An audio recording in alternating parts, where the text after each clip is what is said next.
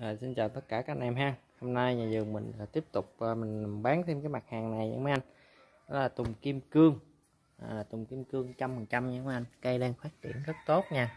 Đó, lá rất xanh này ha. Ok hang cây khoảng một tấc nha mấy anh. Cây cao khoảng một tấc nha. Rất là 10 cm á. Đó, rễ ra rất là dữ nha mấy anh. Rễ ra rất là nhiều.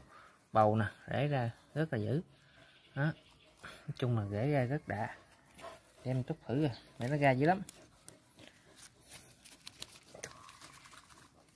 Chung là rễ nó ra cứng à. Nó ra nó nằm ở dưới á. Ừ. nó lú lên trên luôn nè. Ra rất là mạnh nha mấy anh. Ra rất là mạnh luôn. Nhưng mà cái cây nó nó còn, nó khoảng một cây đọt nữa thì nó mới mạnh. Nhưng mà em bán lúa non luôn nha mấy anh. Đó. Em thấy nè rất là tươi tốt nha. Ừ. Cây nó khoảng một tấc ha mấy anh. Cây cao khoảng một tấc ha. Đây, nó khoảng một tấc nha mấy anh. Rồi, anh em nào có nhu cầu thì inbox cho em ha rồi liên hệ số điện thoại trên màn hình ha. Đó.